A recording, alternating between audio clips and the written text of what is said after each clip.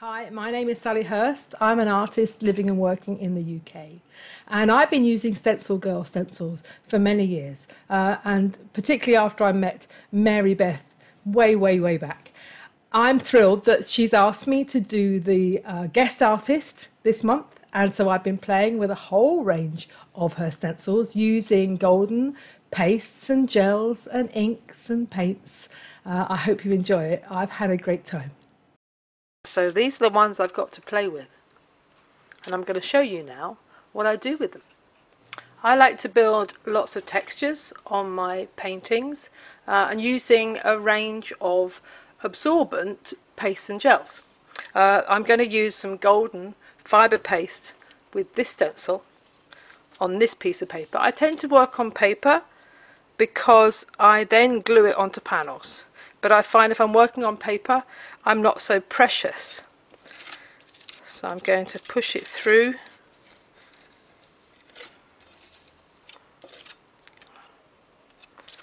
I'm not going to go all the way to the edge because I want to maintain that kind of organic feel to it. Uh, the fibre paste is absorbent. I'm doing this on watercolour paper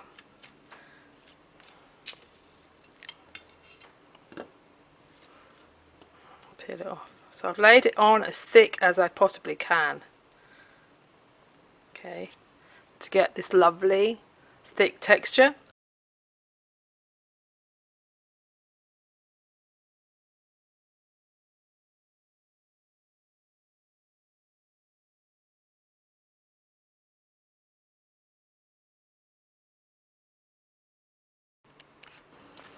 This is on the piece that has fibre paste on it and this one I'm going into.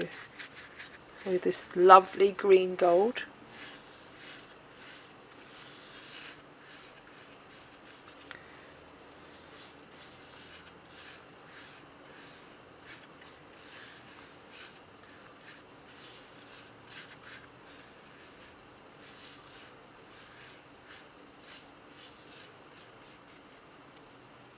But I'm also going to go in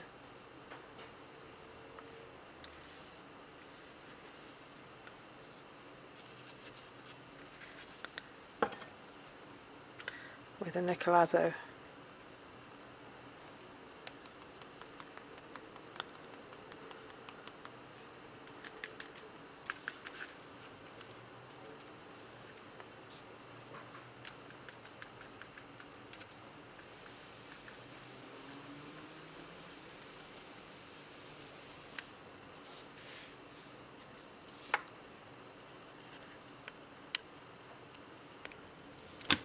Again, I've got a little bit of paint on my brayer. I'm just going to pick up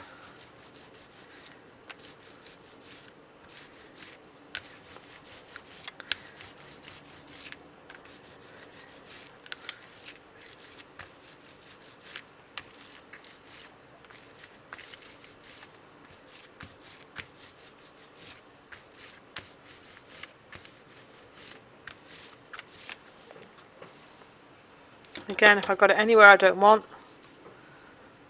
I can just go in and wet it down.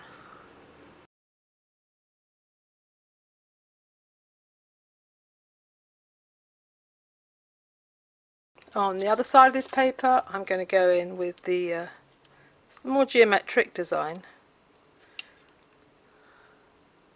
And again, fibre paste.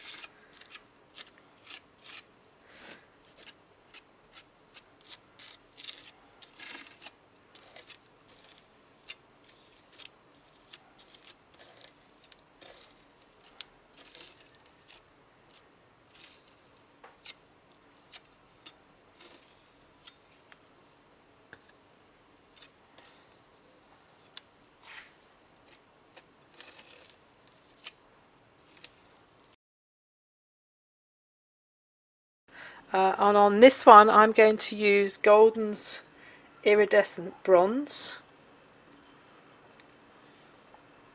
which is looks like bronze okay? But when you wet it down it does something very different. Slightly mucky brush but it won't really matter. So I'm just going to wet the paper first and then I'm going in with the bronze.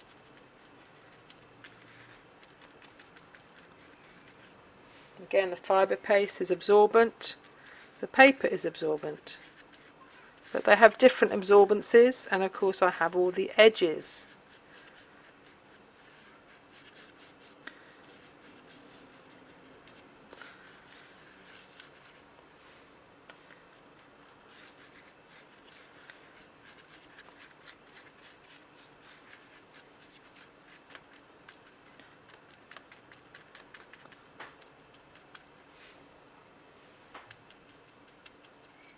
Right, let's just wait and see what happens to that.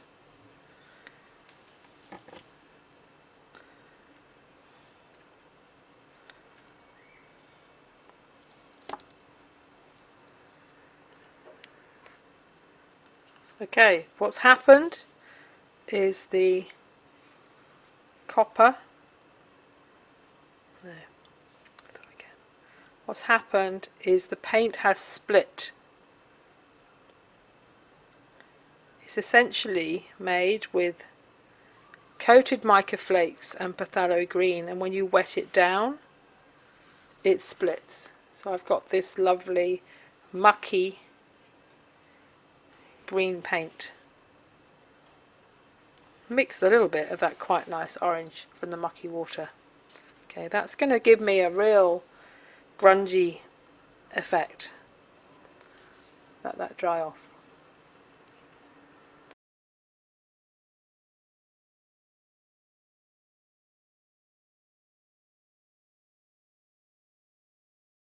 This one I'm going to do on a slightly larger piece of paper uh, and I'm just going to run it across a section.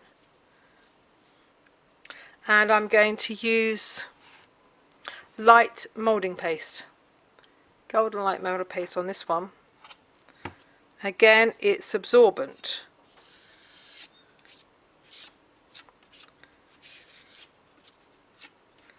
The watercolour paper is absorbent and the paste is absorbent so I'm going to get two different absorbent textures.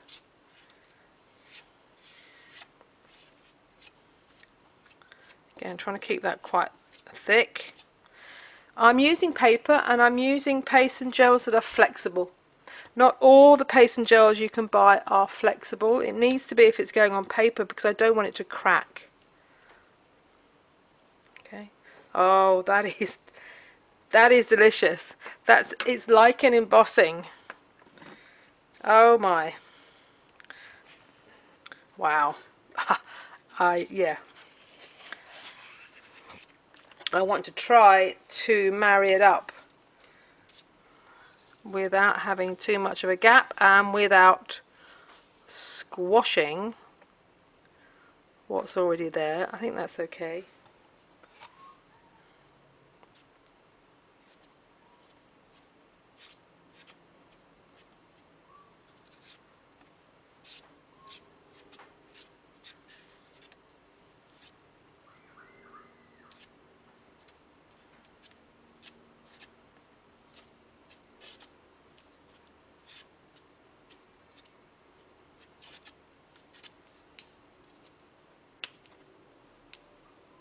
Yeah I'm good to go.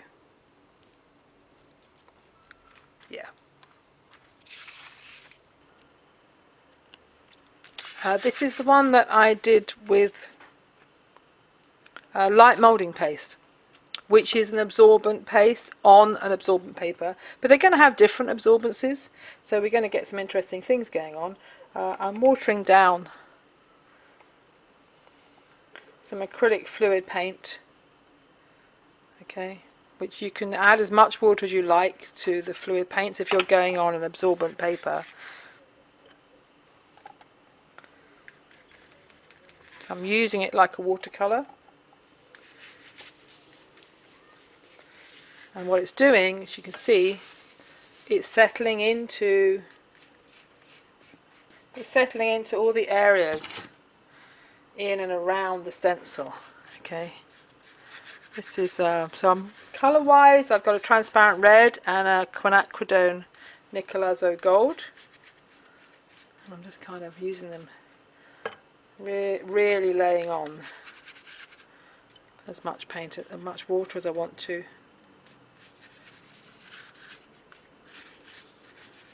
It's going to give me some delicious. I'm going to go. This is a going to be a larger piece of a panel, so I'm going to just keep splashing this paint in. Letting it flood.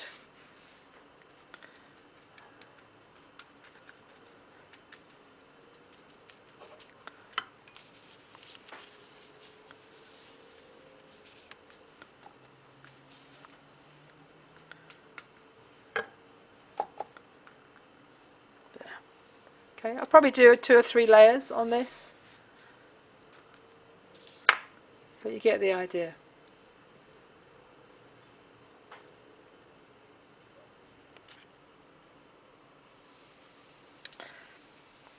Here is the one with the light moulding paste that I flooded over the watercolour with watercolour.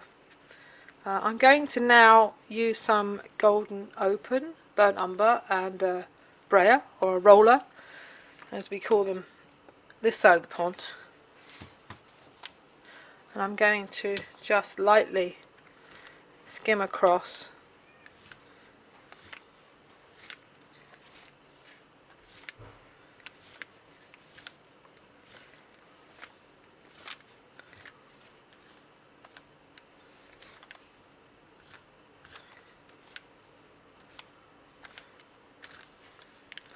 That's created some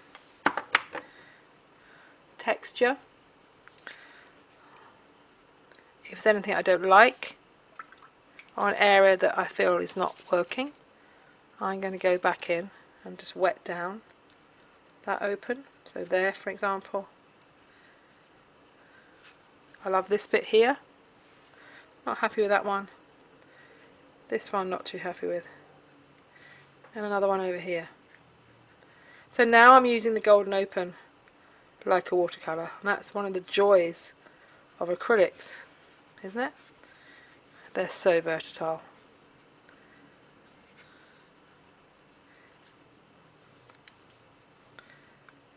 Get some real darks happening in some of these areas.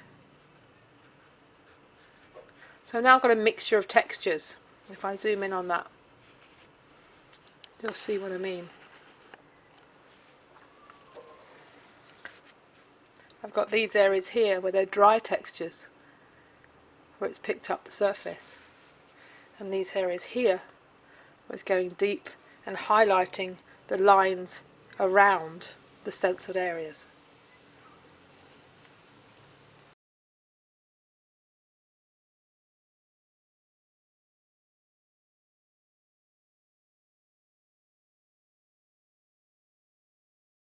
Uh, this is a panel and I'm using a panel because I'm going to be putting things on here that are not flexible. Um, but first of all I'm going to use this stencil. I've got it mucky straight away. I'm, I'm such a mucky worker. And for this one I want it quite high again uh, and this is a golden heavy gel. Okay, it's a heavy gel. So that's going to give me some really it's a big sensor, this one, I love this. Um, and it's going to give me some strong shapes.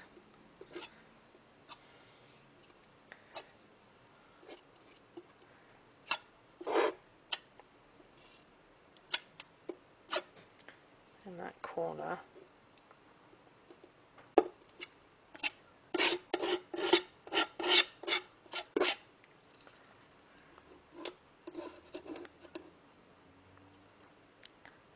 Yeah, not fast if I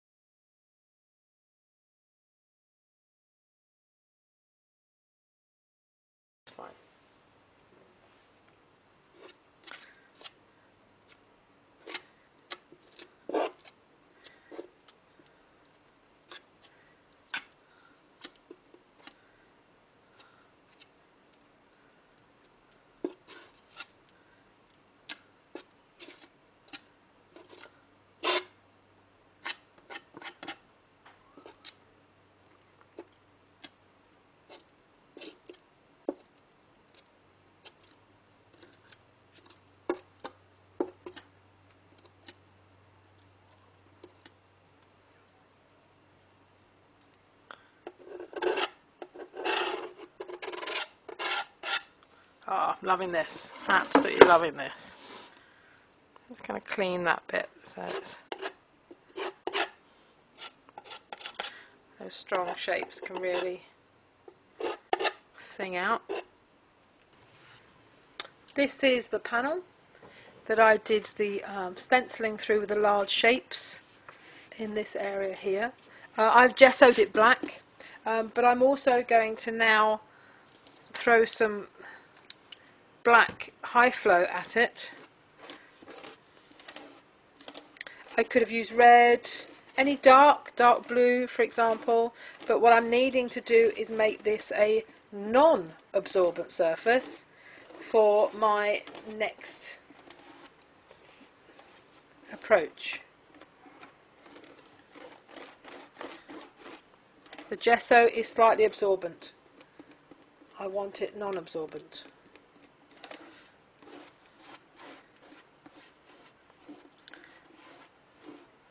I'm using um, a high flow. I could use a fluid. I wouldn't recommend for what I'm doing here. I wouldn't have used a heavy body because I want I want to keep the textures that I've got with my stencil. If I painted over this with a heavy body, I would lose those because it has a texture to it. So I'm trying to give it a smooth, flat texture as possible.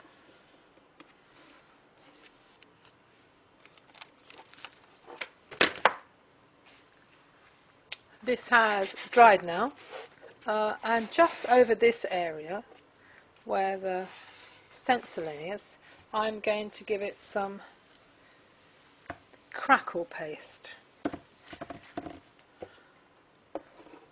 Golden crackle paste. I'm smoothing it in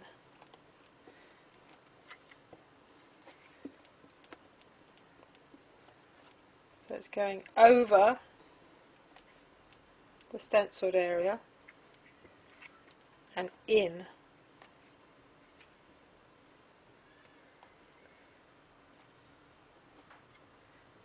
all the spaces in between. Now crackle paste needs a, a non-absorbent surface to work. Okay, if you put it on an absorbent surface it can't work. It, it can't contract.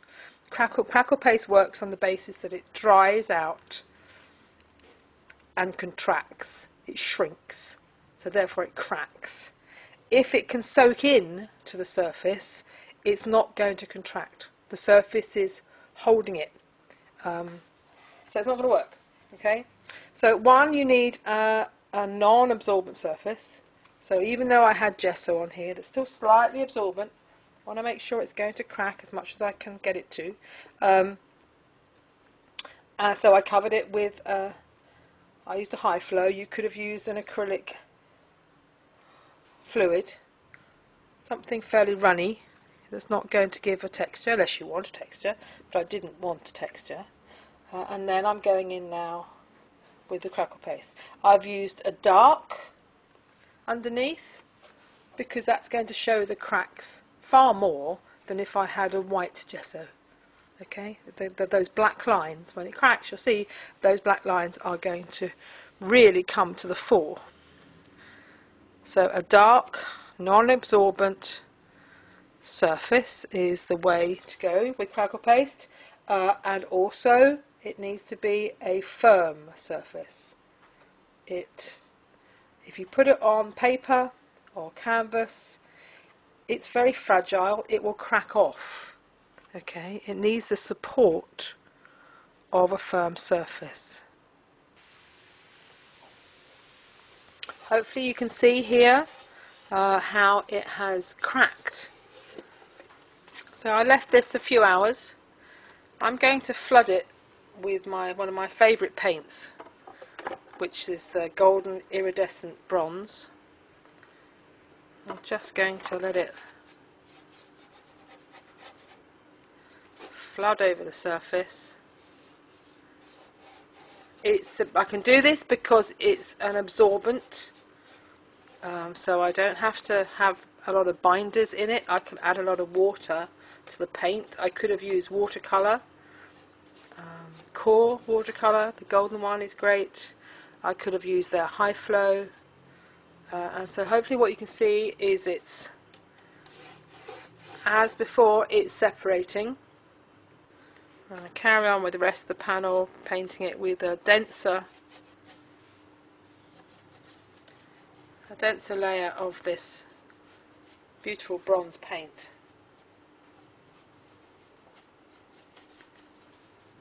Which works particularly beautifully over the black. And let it flood where the two areas join. So the whole board has now got um, the bronze on, much thicker here over the black, uh, and then a thin wash over the crackle paste on top of the stencil. It's still wet, but it, when it dries off, there'll be a range of colours and tones where it's particularly, not so much here, but certainly here, where the, the bronze has uh, separated. So the mica flakes in the paint and the phthalo green are different weights. Uh, and so when you wet them down, they disperse. Uh, this one, mucky already. Uh, this one I'm going to do with the fine, fine pumice gel. Which again is quite a runny consistency uh, so I'm using it with a spreader. With this one you can see a little bit better where I'm going.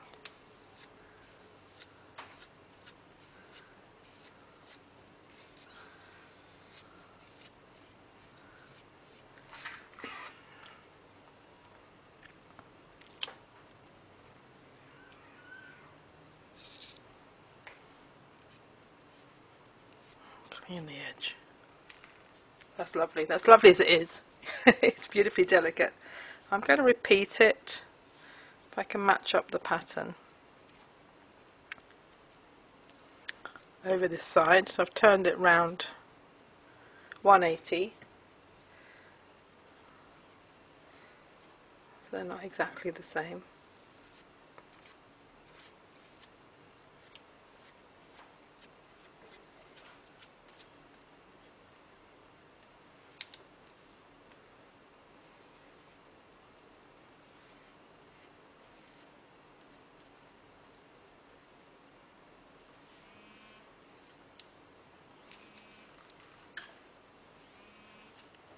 Pumice gel is really nice if I wanted to draw into this. If I go into this with um, compressed charcoal,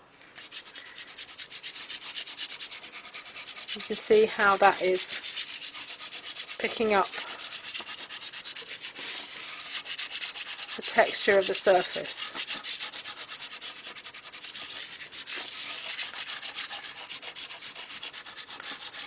starts to look like a rubbing.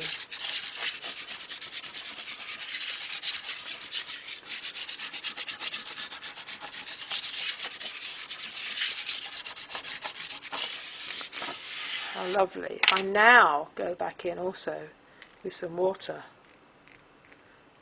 The compressed charcoal becomes like an ink. I'm going back into this one with something called uh, an Artgraf they come in these little packets. Uh, they're like a graphite and they are water soluble and they come in different colours. So I can either work on the surface of that texture as I was before or as you can see it's picking up and dissolving the colour.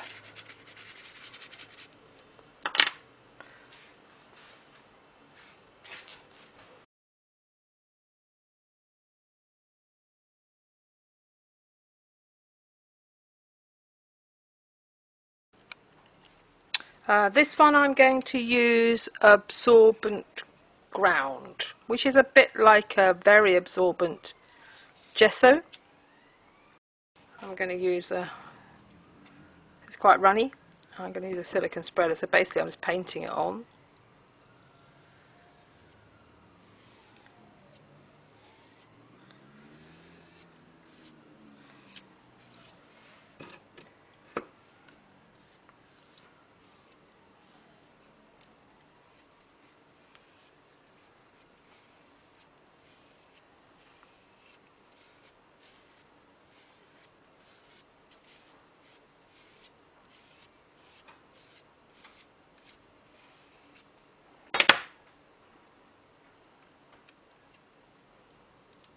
There.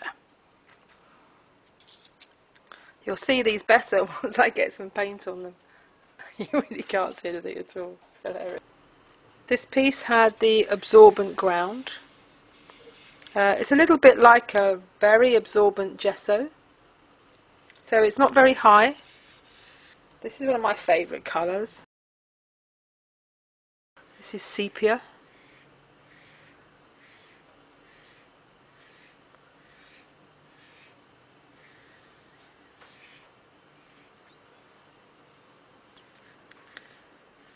I'm going to go in really dark with this.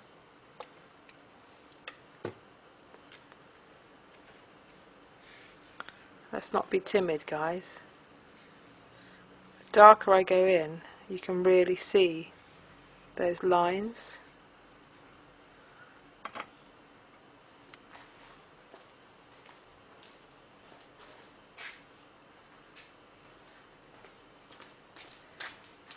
and if I scrape off the surface. It reveals.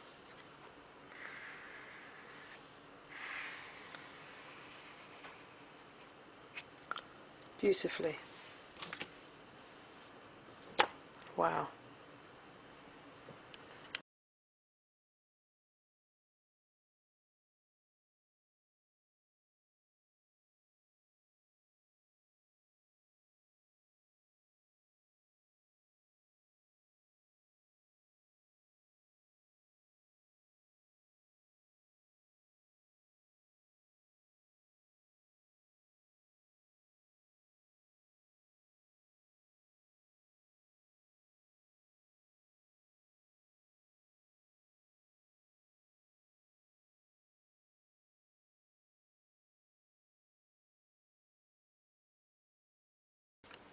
Uh, for this last one, I'm going back. To, I'm going to use the heavy gel matte again, but in a different way to I'm using it with that last one.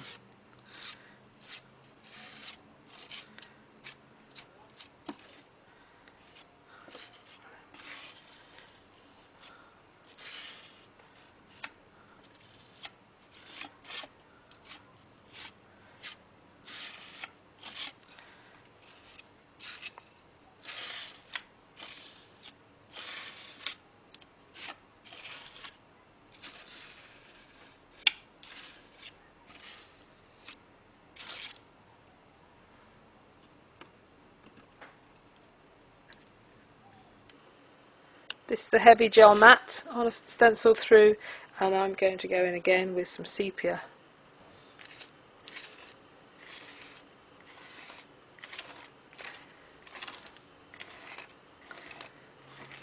What's happened here is the heavy gel matte is not absorbent. I'll move it up a little bit. Okay, it's not absorbent, so therefore the paper is absorbing uh, the high flow. This is sepia high flow. You can use any other ink. The paper is absorbing it. If I go right over the edges, you can see here where the paper is absorbing it, but the stencil area with the heavy gel is not absorbing it.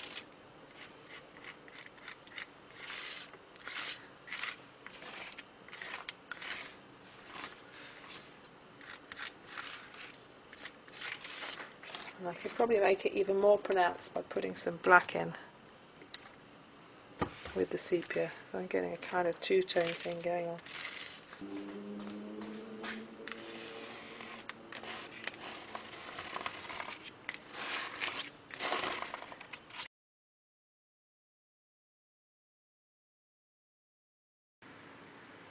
So uh, that's it. I've had a great time. Uh, and thank you very much for StencilGirl inviting me. Okay, uh, all details about the products you will find with this video. Uh, thank you and take care.